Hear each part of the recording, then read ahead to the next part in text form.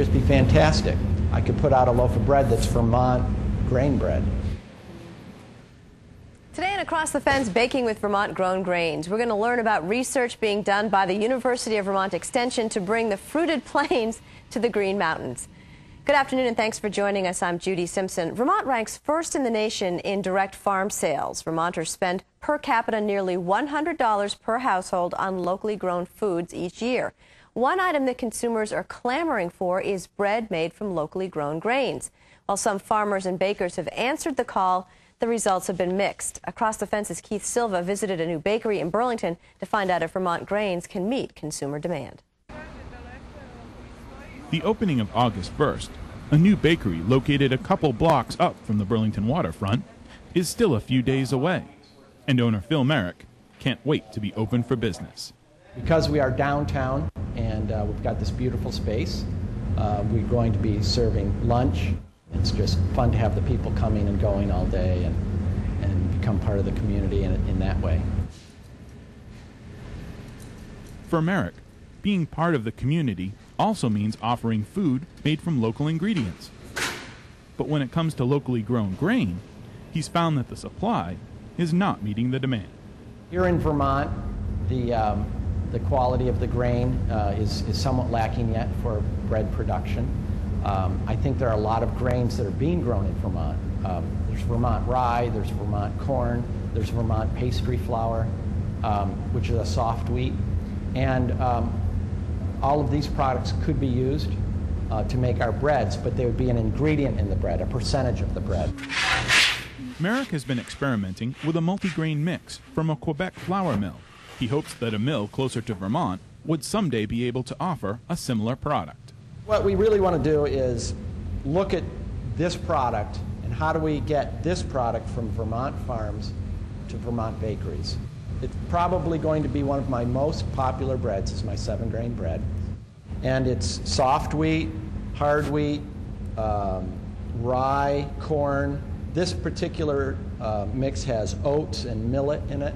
All of these can be grown in Vermont. It'd just be fantastic.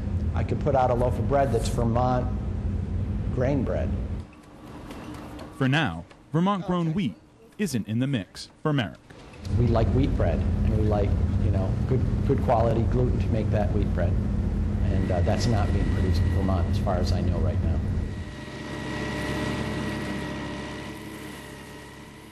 Merrick and other bakers may not have to wait too long. The future of growing grains in the Green Mountains is taking shape today on a number of farms across Vermont.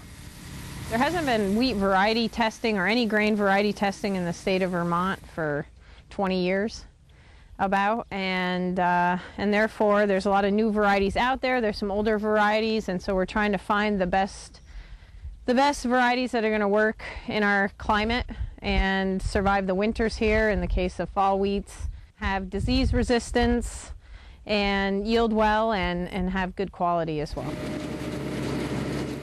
what will ultimately separate the wheat from the chaff, so to speak, is how farmers will get their grain to market.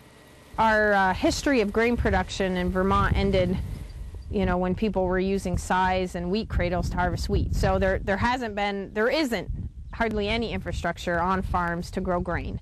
That's changing, you know, as there's more of a de demand and more farmers start to get into growing grains, you know, they're purchasing combines and grain bins. But for the most part, that's new equipment on our farms. When it comes to milling the grains, there's hardly any infrastructure in Vermont. On a commercial scale, there's no infrastructure. If grain production is going to grow in Vermont, there may be no better time than now. This is serious. People really want this stuff, and there's quite a bit of momentum.